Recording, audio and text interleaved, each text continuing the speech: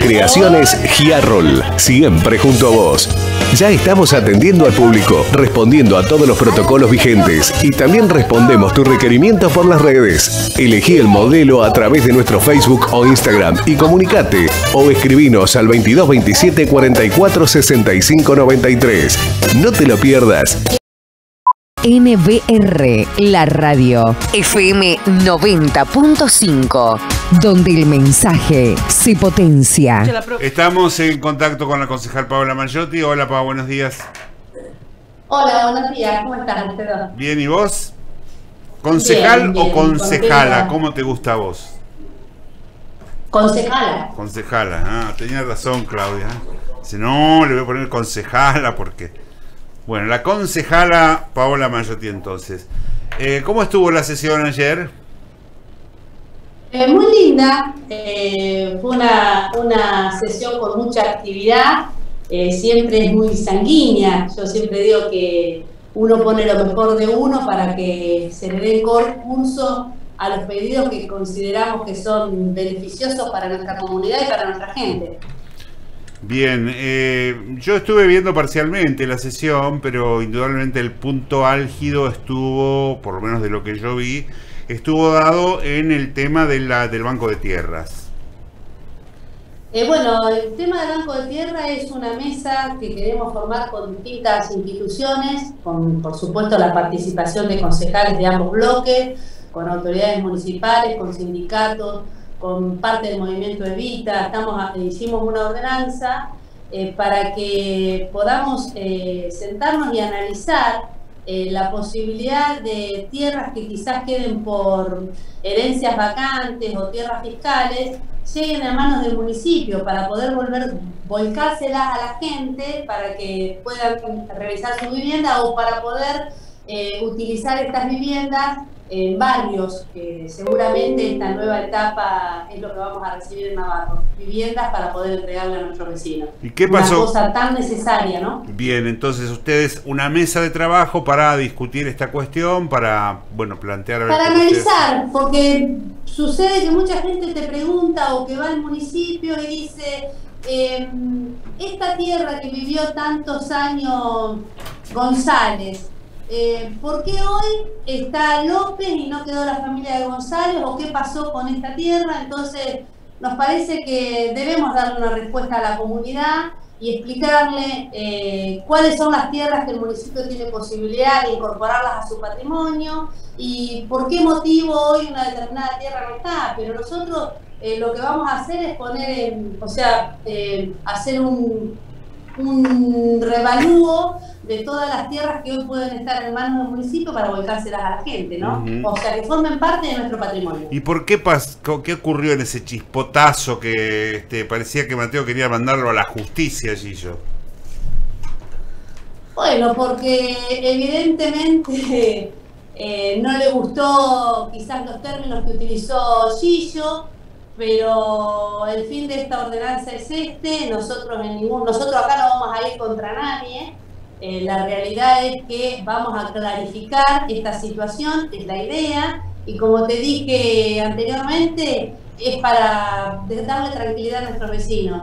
Y si Mateo consideró que esto tendría que ir a la justicia, creo que Chillo le dio todas las herramientas como para que, y le dijo que si tenía que hacer una denuncia que lo hiciera, que en caso de él tendría que aportar herramientas como Porque para lo que, yo, lo que yo sí pude ver es que la presidencia desestimó la posibilidad de llevar eso a la justicia diciendo que no era su competencia, que en todo caso si tenía él eh, motivo se presentara personalmente. Eh, totalmente, Alfredo. Nosotros ahí en, en el recinto tenemos la libertad de hablar, eh, no por eso vamos a ser juzgados y también es cierto que si tenemos pruebas no vamos a durar, no vamos a dudar un segundo en presentar las, cosas en la justicia para que se haga lo que, sea, lo que se tenga que hacer. Pero realmente no era el fin de, de lo que dijo Gillo. Gillo lo que quiso expresar era esto, que íbamos a hacer un análisis de las tierras como para ver si hoy podemos incluir más tierras a la municipalidad para después volcarle esas tierras a nuestros vecinos o volcarlas a través de un barrio. Y más allá de más allá de lo institucional, de lo político del bloque, ¿vos qué impresión tenés? ¿Hay tierras suficientes? ¿Hay lugares que se puedan disponer para esto? Eh, no, la verdad es que la municipalidad necesita tierras. Eh, hay, no tiene un número importante de tierras como para poder brindarle a nuestros vecinos y sí yo creo que tenemos que hacer un trabajo profundo de análisis y de investigación para ver eh, qué herencias hay vacantes como para que estas pasen en manos del municipio. Porque el municipio somos todos, entonces todos tenemos que defender y tratar de que estas tierras vengan al municipio para poder buscárselas a nuestros vecinos ante la necesidad de tener un terreno para hacerse una vivienda o ante la posibilidad de que se construya un barrio como para poder volcarla. Eh, teniendo esta oportunidad, eh, eh, que hoy existe la ley de hábitat, donde podemos hacerlo hasta de una forma más económica y más fácil, es una lástima que puedan pasar a manos de privados cuando tenemos una necesidad imperiosa de contar con tierras. Eh, hay una propuesta del radicalismo que vienen planteando desde hace bastante tiempo que tiene que ver con un instituto de la vivienda municipal. ¿Ves factible esa, esa idea? Eh, Alfredo, sabemos que es imposible que la municipalidad se ponga a construir viviendas. Eso si no vienen de planes nacionales o planes provinciales, es imposible porque con el presupuesto que tenemos nosotros podemos llegar a hacer con suerte una vivienda por año. Eh, me parece que nosotros nos tenemos que ajustar a la realidad Sabemos que sí, podemos controlarlas, podemos coordinarlas, pero no tenemos la capacidad como para poder bancar un, barrio. Entonces, me parece que tenemos que hablar de cosas lógicas. Eh, si te imaginas que no hemos podido terminar con fondos municipales al no tener respuesta del gobierno para instalar los servicios en las 39 viviendas que tenemos en el barrio Matadero, que el municipio empezó a hacerlas con fondos propios y bueno, después sabemos lo que pasó a la pandemia tuvo que destinar para otro lado los fondos, no pudimos terminar estas viviendas. ¿A vos te parece que tenemos capacidad económica como para hacer un barrio? Eh, siempre hace referencia a Macri, ¿eh? No, Alfred, o sea, nosotros, yo siempre digo que nosotros tenemos que ser memoriosos y las cosas ocurren siempre por algo. Nosotros no podemos dejar de reconocer que no tuvimos una pandemia sanitaria, pero sí venimos de una pandemia económica. Entonces, todo esto, por supuesto, que golpea al gobierno que sigue, hubiera sido radical o hubiera sido peronista. Nosotros arrancamos con una base muy desintegrada, entonces hoy todo nos cuesta el doble. Y bueno, la realidad es que no es que acuso a Macri, lamentablemente fue que estuvo cuatro años atrás y que sí se encargó por ahí de destruir lo poquito que teníamos. Eh, eh, respecto de la sesión, veo que ahí tenés el orden del día. ¿Algunos otros temas relevantes? Porque yo, como digo, no puedo. Y sí, por ejemplo, el hospital municipal va a contar con un tomógrafo. Esto es eh, una decisión política en beneficio de la gente, el hospital sigue ofreciendo servicios, sigue ofreciendo calidad y esto nos va a dar el beneficio no solo de la comodidad de tener al toque en forma inmediata un diagnóstico sobre una determinada eh, enfermedad o, sobre un determinado paciente, sino que también tenemos que ver que le va a dar la posibilidad a aquellas personas que no cuentan con un con una obra social, nos, va, nos da la posibilidad de no tener que derivar pacientes hacerse un tratamiento, que eso genera que eh, se te, llevarte un médico, llevarte un enfermero, mover la ambulancia, llevarte un ambulanciero, el gasto que representa y el tiempo que tardás en tener un diagnóstico. ¿Y con qué recursos llega? Con, qué recursos llega la, la, No, es un privado que hace un convenio con el municipio y genere, le, le deja un porcentaje al municipio para cubrir eh, estas personas que no tienen la obra social, o sea, dentro de este convenio está estipulado, que también se van a hacer cargo de las reparaciones, o sea que para Navarro es un servicio a la gente que no nos da un costo y también nos da el beneficio de que el que no tenga la posibilidad de tener una obra social también pueda acceder a hacerse esta tomografía. También vamos a tener una estación de oxígeno, que también es otra cosa para pensando en la salud de nuestra gente. Pones una carita sonriente cuando decís estas cosas. No, es que Alfredo, todo lo que sea beneficio para el pueblo, ¿cómo no te va a dar felicidad? aparte sabemos todo el trabajo y toda la movida que genera conseguir estas cosas. Nadie viene y te golpea la puerta para decirte, ¿querés un tomógrafo? ¿Querés una cuadra de asfalto?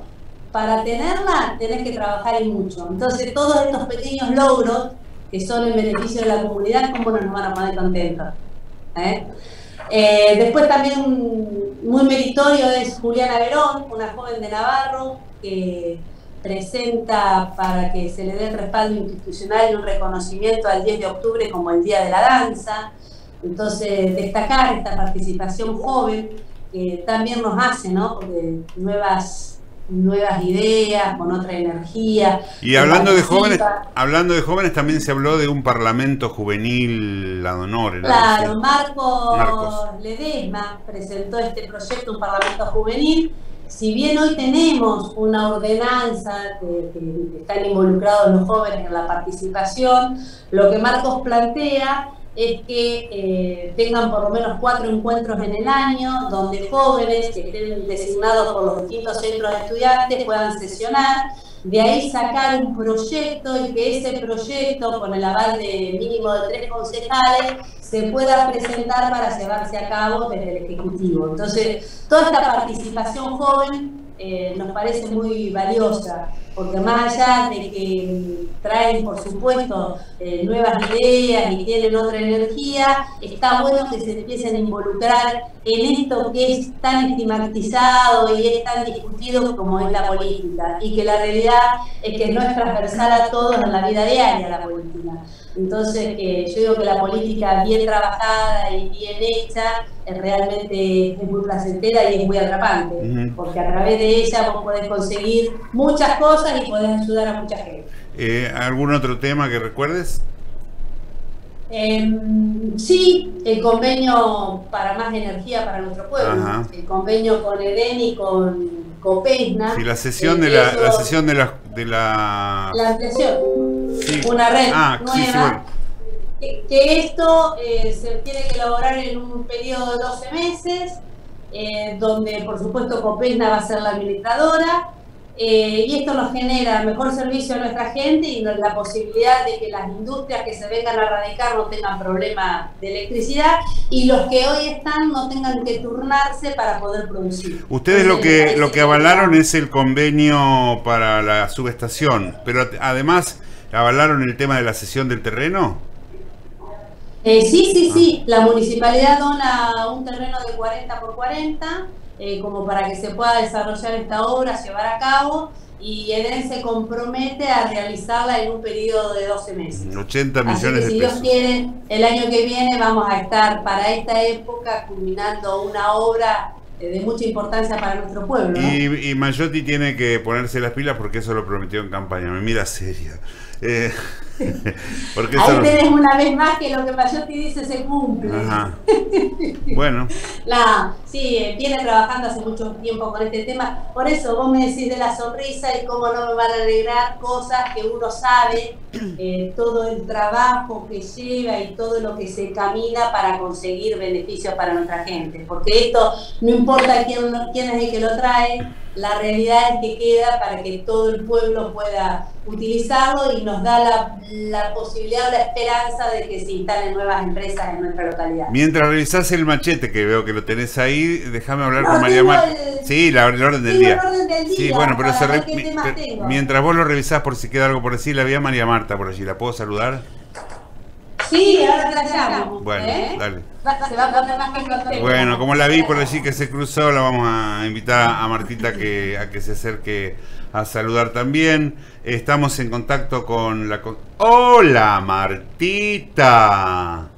mi amor, ¿cómo andas, querido? Bien, ¿y vos? ¿Cómo estás? Nosotros muy bien. Bueno, me alegro. muy bien. ¿Te estás cuidando? Me estoy cuidando. Bueno, dale ahí, ¿eh? Seguí siendo siempre buena, linda y, amorosa con toda la gente que te quiere tanto.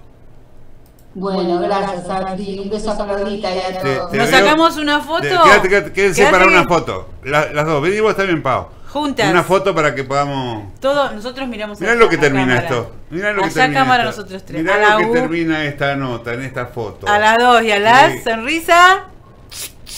Gracias, Martita. Te mando un Un abrazo. Santi. Chao, chao. Eh, bueno, el, el machete. Ah, el, el machete, ¿qué dice, Pao? No, tengo acá el orden del día. Sí, Estaba sí. mirando el orden del día porque sabía que me ibas a preguntar sobre los temas de, de la sesión y no ¿Qué dibujaste del otro lado? ¿Qué dibujaste del otro lado? ¿Qué dibujaste del otro lado? Ah, yo rayo. Ah, de rayar. Y después otro tema que no hablamos fue el repudio al diputado Sí. Bien. Eh, que bueno, eso se presentó fuera de términos, pero la realidad es que esto ocurrió el jueves a la noche. Sí. y Ya- nosotros desde el bloque lo íbamos a hacer en forma verbal a este repudio, porque bueno, sabíamos que estaba fuera de términos y al presentarlo el bloque Juntos por el Cambio, por supuesto no dudamos un segundo en sumarnos a este repudio, destacar también eh, que más allá del partido político al que, al que pertenecía esta persona, había que destacar eh, con qué agilidad desde la presidencia de la Cámara Baja se tomó la determinación de, de suspender la sesión para ver qué medidas tomaban con, con este diputado y que bueno, que después se aprobó casi por unanimidad, eh, por supuesto, la renuncia. Y aparte, más allá de la falta de respeto ¿no? y de esta violencia eh, de género que ocurrió y esta vergüenza mundial, eh, es una falta de respeto a la institución, es una falta de respeto al, al pueblo entero que con su voto lo llevó a ocupar esa banca. Sí, un horror. Es una falta de respeto a la política porque la hace cada vez más creíble cuando nosotros tenemos que transformarla y, y hacer ver cuál es la realidad de la política, ¿no? Y también, eh, así que, que nosotros también con mucho énfasis repudiamos esta acción y repudiamos todas las acciones, Alfred, porque es tan grave esto como no podemos aceptar, por ejemplo, que un diputado como Alberovich esté con una licencia por un abuso sexual. Tampoco lo tenemos que aceptar. Y tampoco podemos aceptar que dejen una imagen y se vayan o que se estén cambiando en una sesión. Esto es eh, la situación pandémica que hoy nos hace sesionar por esta vía, pero tenemos que cumplir las mismas obligaciones y con la misma seriedad como si estuviéramos en el recinto presentes. Eh, ya empezamos a perdón, terminar, redondear. No, no, no. Eh, ya quería- empezamos- No quería dejar pasar este Está tema muy bien. porque me parecía. Está muy bien. Ya empezamos una cuenta regresiva en la cual termina tu mandato. ¿Vas a ir por la renovación o vas a levantar así un dos años y te vas a tirar al intendente? No, Alfred, mira, yo voy a seguir trabajando más allá de que vaya por la renovación o no. La verdad que no me cambia la vida el, el ser concejal nuevamente o no, porque uno tiene un compromiso con la sociedad. Uno ha mamado esto desde muy chico y siempre he participado desde un lugar u otro. Si consideran que tengo que ir y que es útil mi trabajo, estaré. Y si no, no tengo ningún problema en pararme al costado y seguir colaborando como siempre lo hice. ¿Y si, No, te, no. y si te dicen parate al costado pero solo por dos años? Y bueno, después lo vemos. Falta, sí. eh, hay que vivir el hoy y hay que pensar en el hoy y hay que ocuparse por el hoy. ¿eh? Bueno. Nadie maneja ni el futuro y lo pasado, pasado está. Así que, que no, yo estoy trabajando acá convencida de lo que estamos haciendo y siempre pensando en la gente y en, aparte que en toda esa gente también están mis hijos. Entonces uno trabaja pensando en el futuro, no solamente de mis hijos, sino de, de los jóvenes de nuestra ciudad. Te agradezco mucho, Pau. No, un beso grande y gracias Igualmente. por llamar. Hasta pronto, saludos a la familia y un Dale. beso Gracias. especial a Martita otra vez. Dale, bueno, muchas gracias. ¿eh? Chao, chao, un placer. Chao. La concejala Paola Mayotti.